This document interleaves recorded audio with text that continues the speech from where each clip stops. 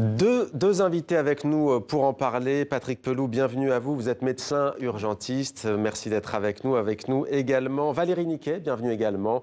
Vous êtes responsable du pôle Asie à la Fondation pour la recherche stratégique, auteur notamment de La puissance chinoise en 100 questions. C'est aux éditions Talendier. Euh, Patrick Pelou, euh, on apprend un quatrième cas en France, mais on apprend surtout que pour la première fois sur le sol européen, en Allemagne, une personne a été contaminée alors qu'elle n'était pas allée en Chine. C'est le cas aussi d'ailleurs au Japon, euh, parfois l'information est présentée comme si c'était un signe d'aggravation de la situation. Non. D'un point de vue médical, est-ce le cas Non, c'est totalement banal dans ce genre d'épidémie, de, d'accord? Je voudrais juste vous rappeler qu'aujourd'hui, il y a probablement des gens, euh, et c'est même certains, qui sont morts de la grippe saisonnière en France.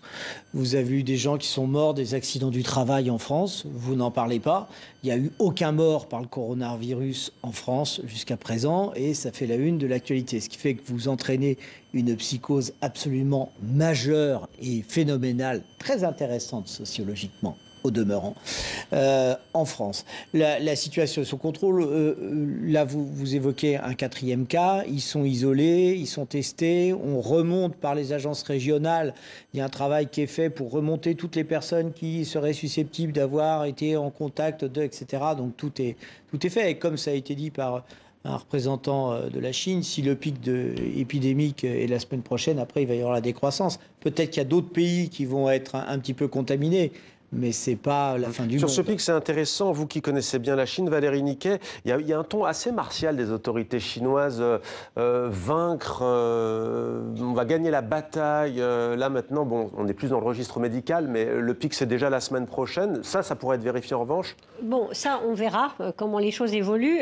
je suis assez d'accord sur le fait qu'il y a, au-delà de cette épidémie, il y a un phénomène de d'hystérisation collective en Chine qui aura des conséquences à la fois économiques et même peut-être politique pour le pouvoir central chinois, ce qui explique d'ailleurs ce discours extrêmement martial du président Xi Jinping, qui est d'ailleurs son ton habituel. Hein. On va le peuple uni, on va, on va lutter contre, on va se battre contre le virus. Mm-hmm. Bon, euh, certains Chinois euh, sur les sites internet qui sont beaucoup plus accessibles qu'en temps normal, sans doute, on ne veut pas fermer toutes les soupapes de sécurité parce qu'il y a un vrai mécontentement et un manque de confiance dans les autorités chinoises en Chine même. Eh bien, se moque en fait de ce langage martial et se moque également d'ailleurs de ces discours sur la capacité de construire en 10 jours un hôpital. Ce qui est déjà fait, c'est des hôpitaux de campagne.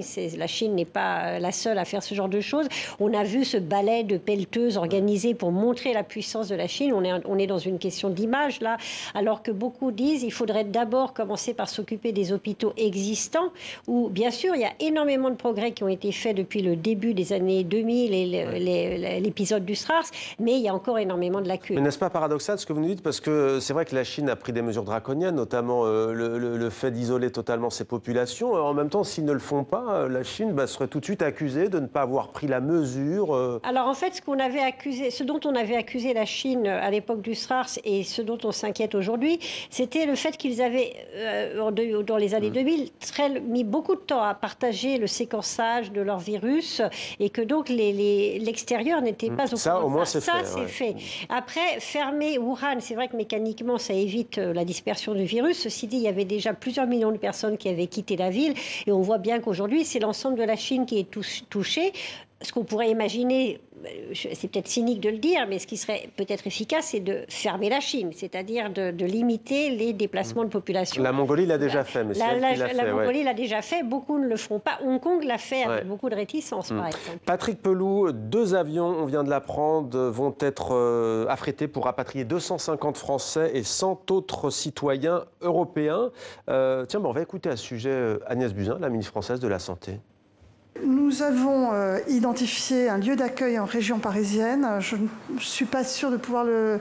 Euh, en fait, je ne le connais pas encore. Je sais qu'il y a un lieu d'accueil qui, a priori, est en région parisienne parce que nous voulons quand même que le lieu d'accueil des ressortissants ne soit pas trop éloigné euh, d'hôpitaux en capacité de prendre en charge d'éventuels patients. Donc il ne faut pas un isolement qui compliquerait l'assistance médicale.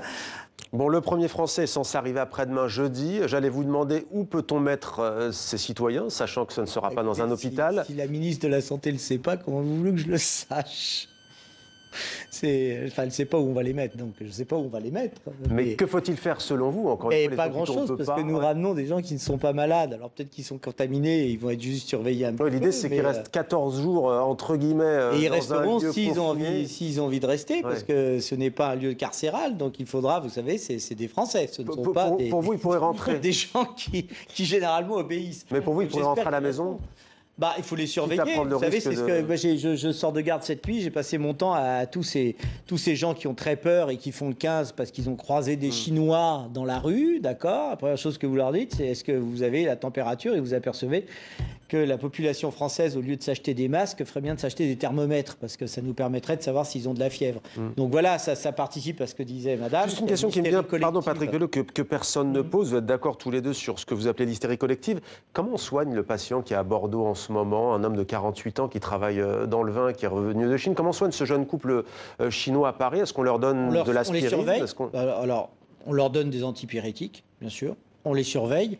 Si arrive ce qui n'est pas arrivé, une détresse respiratoire aiguë, c'est-à-dire un syndrome infectieux pulmonaire, à ce moment-là, on les intube, on leur met une respiration artificielle et puis on met des batteries d'antibiotiques ou d'antiviraux. Le médicament que vous avez cité, c'est un médicament qui fait baisser la fièvre? Oui, oui, bien sûr. Sûr. C'est un langage très médical. Ah, pardon, oui, mais, mais ce qui fait peur quand même, vous dites hystérie, mais c'est aussi qu'on ne le connaît pas, disons-le, parce qu'on dit que c'est comme une grippe, certes, mais on ne le connaît pas encore.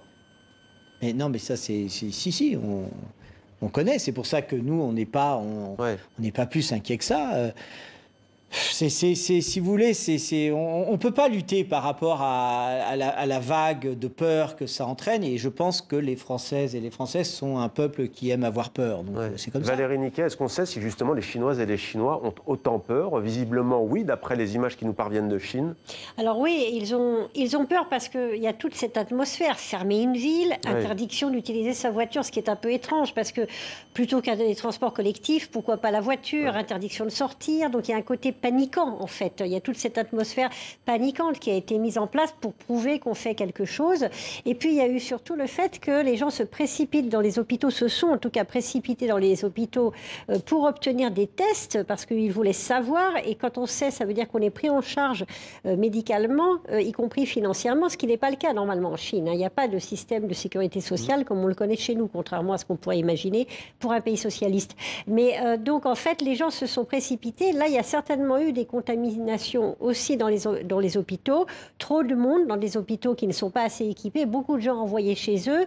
Et tout ça provoque évidemment des rumeurs et euh, un grand phénomène d'inquiétude, plus quand même en Chine une centaine de morts, ce qui est à l'échelle du pays, il faut re- remettre ça dans ses dimensions, mais euh, dont il semblerait que ce soit des gens qui aient aussi des, des, des raisons euh, autres que, que uniquement le virus pour justement ne pas y résister, mais euh, on, on ne parle plus que de ça. Quelles conséquences peut- économiquement, par exemple, pour la Chine? Eh ben, c'est dramatique. Enfin, c'est dramatique pour la Chine puisque euh, c'est toute la consommation qui est touchée, notamment des ménages qui, qui avaient repris plutôt en Chine. Une croissance qui aujourd'hui est la plus basse depuis plusieurs dizaines d'années. Et euh, on est en pleine période du Nouvel An où en général il y a une surconsommation. Ça permet de relancer la machine. Plus des entreprises qui sont arrêtées. Euh, Wuhan, c'est le centre de l'industrie automobile en Chine avec des entreprises Peugeot Citroën étrangères notamment, et qui a aussi décidé des de sous-traitants chinois. Donc pour le moment, tout ça est paralysé. N'oublions pas que l'Asie, c'est le deux tiers euh, du, du produit national brut mondial. Pa- Patrick Vello, très court pour finir. Un mot de, la fin, un mot de fin Un conseil à donner peut-être à celles et ceux qui nous regardent? N'ayez pas peur.